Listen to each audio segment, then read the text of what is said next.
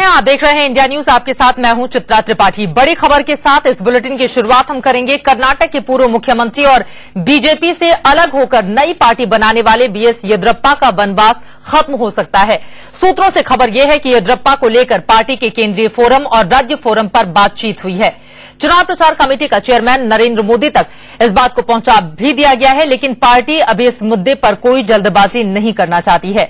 आज सुबह 10 बजे बैंगलोर में राज्य के प्रभारी थावरचंद गहलोत की मौजूदगी में राज्य फोरम की बैठक हुई है, जिसमें इस निर्णय पर पहुँचने की कोशिश की गई कि क्या वनवास खत्म करके येदुरप्पा को बुला लिया जाए या फिर नहीं, हालाँकि इस पूरे मामले में वो कोई जल्दबाजी नहीं दिखाना चाहती है। और इस बारे में ज़्यादा जानकारी के साथ हमारे साथ जुड़ चुके हैं हमारे editor in chief Deepak Chaurasia ji. Deepak ji, सबसे महत्वपूर्ण बात यही है कि जल्दबाजी बीजेपी नहीं दिखाना चाहती है। बावजूद इसके केंद्र से लेकर राज्य स्तर तक माथापच्ची लगातार जारी है। येद्रप्पा की वापसी को लेकर वजह क्या है कि बीजेपी इतनी उत्साहित दिख रही है?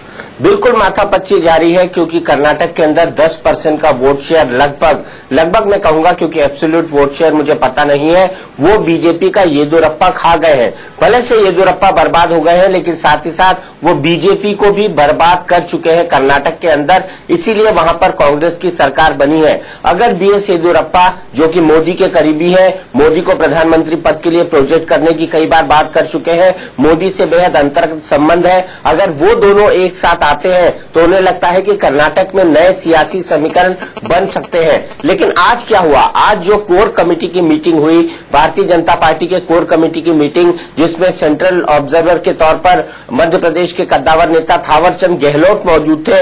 उनके सामने तीन चीज़ों पर चर्चा हुई। एक तो संगठन, उनका कैसा फेरबदल हो? संगठन का चुनाव कैसा हो? कार्य योजना कैसी हो? लेकिन इन दोनों चर्चा के मुद्दों के बीच, इन दोनों मुद्दों के बीच जो सबसे बड़ा और प्रमुखता से मुद्दा आया वो ये था कि हमें किसी भी हालत में येदियुरप्पा को बीजेपी में वापस ले लेना चाहिए, क्योंकि 2014 के चुनाव में हमें बेहद परेशानी का सामना करना पड़ेगा। ये राय एक नहीं, एक से ज़्यादा लोगों ने व्यक्त की और इस पर जो मंच पर बैठे थे लोग, उनका ये कहना था कि हम येदुरप्पा की वापसी के खिलाफ नहीं है। लेकिन चूँकि येदुरप्पा खुद पार्टी छोड़ के गए थे। उन्होंने खुद अपनी पार्टी बनाई थी। इसीलिए प्रस्ताव पहले उनकी तरफ़ से आना चाहिए कि वो बीजेपी के अंदर मर्जर को तैयार है। लेकिन चित्रा, इसमें एक बड़ा सवाल ये भी उठता है कि अभी तक क्या क्या बयान दिए हैं? येदियुरप्पा ने भारतीय जनता पार्टी को लेकर कहीं ना कहीं उनके नेताओं के मन में ये भी बयान खटक रहे हैं कि क्या बयान थे वो?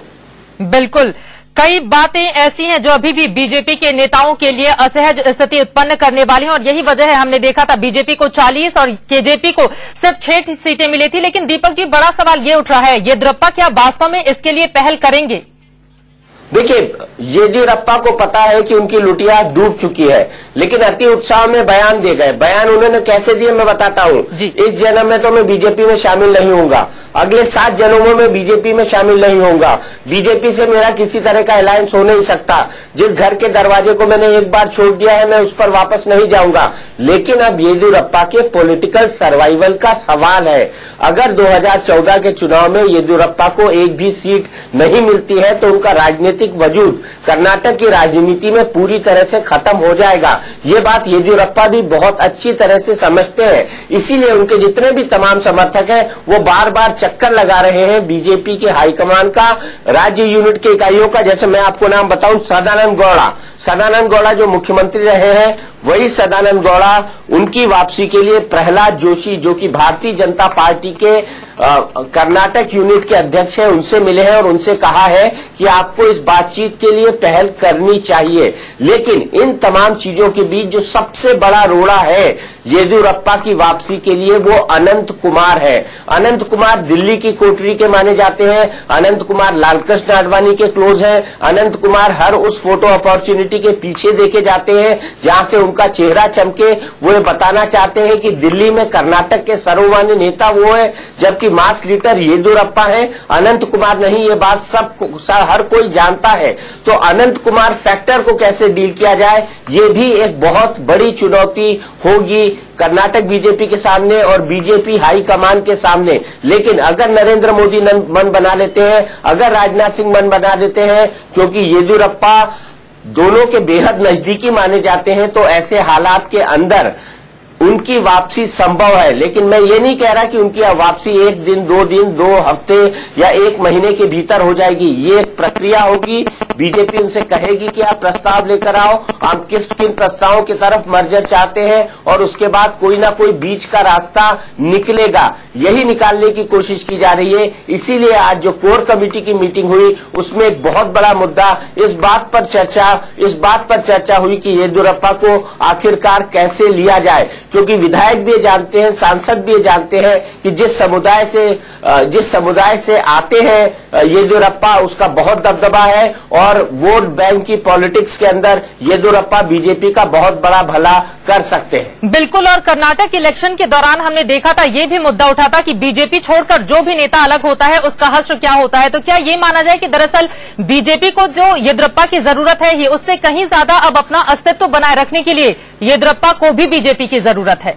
बिल्कुल येदुरप्पा को तो बीजेपी की ज़रूरत है और बीजेपी को भी येदुरप्पा की ज़रूरत है क्योंकि दोनों को अगर केंद्र की सत्ता में आना है तो दोनों को तालमेल के साथ काम करना पड़ेगा। अगर बीजेपी अलग लड़ती है केजेपी अलग लड़ती है, साथ ही साथ कांग्रेस अलग लड़ती है एचडी देवगौड़ा की अलग पार्टी अलग लड़ती है।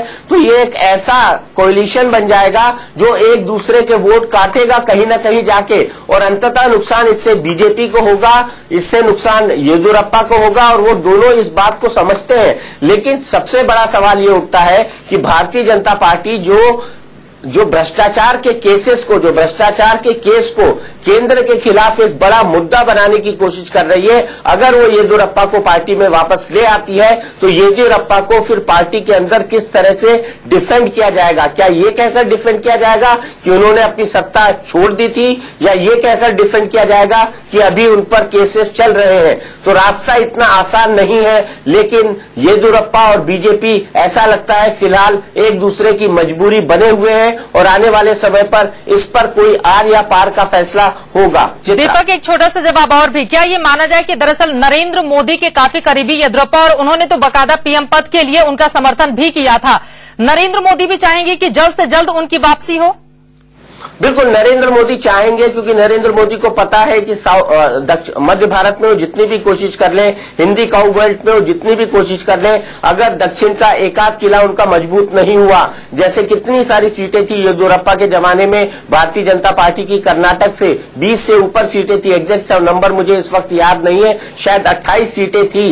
हो सकता है इसमें एक या दो की गड़बड़ी हो जाए, लेकिन अगर इतनी सीटें लेकर आना है तो उनको एक ग्रैंड कोलिशन करना पड़ेगा।